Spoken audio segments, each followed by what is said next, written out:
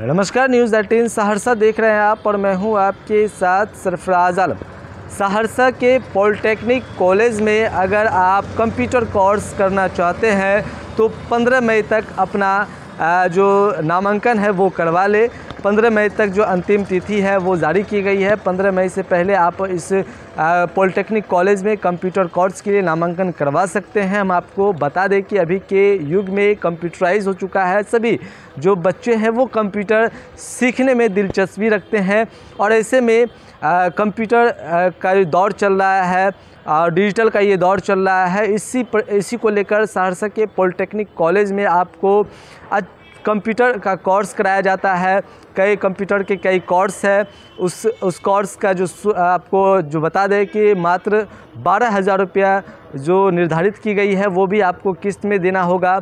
तो ये तस्वीरें, हम आपको पहले तस्वीरें देखिए, किस तरह से ये पॉलिटेक्निक कॉलेज की तस्वीर है, जहाँ किस तरह से कंप्यूटर के बारे में बताया जाता है, कंप्यूटर सिखाया जाता है। इसके अलावा कई चीज़ें की जानकारी भी दी जाती है। तो आप, अगर आप कंप्यूटर कोर्स करना चाहते हैं और आप आपको कोई अच्छा सा संस्थान नहीं मिल रहा है तो हम आपके लिए ये खबर लाए हैं। आप अविलंब सहरसा के पॉलिटेक्निक कॉलेज में अपना नामांकन करवा लें ताकि आप कंप्यूटर सीख सकें और कंप्यूटर की जानकारी हासिल कर सके। इसके लिए जो 15 मई तक जो तिथि है वो निर्धारित की गई है। क्या कुछ जो कंप्यूटर के शिक्षक है क्या कुछ कह रहे हैं पहले वो आप सुने।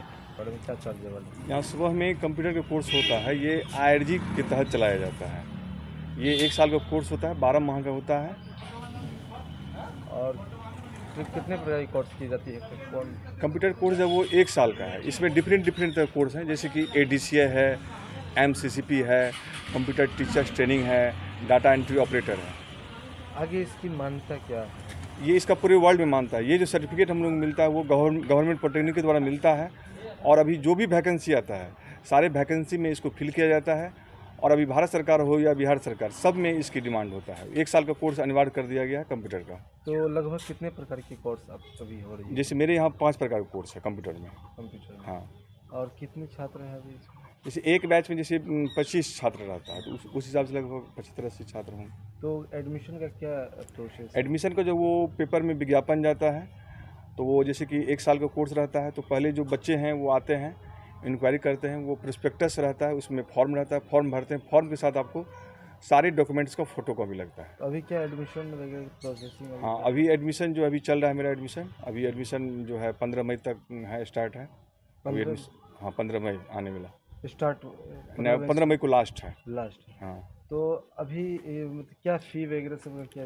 जैसे जो बारह माह का है वो बारह हज़ार फ़ीस है वो उस फ़ी को इंस्टॉलमेंट में दिया जाता है। इंस्टॉलमेंट हाँ। क्या नाम हुआ मेरा नाम अरुण कुमार खां। यहाँ हम कंप्यूटर में हैं कंप्यूटर फैकल्टी हैं।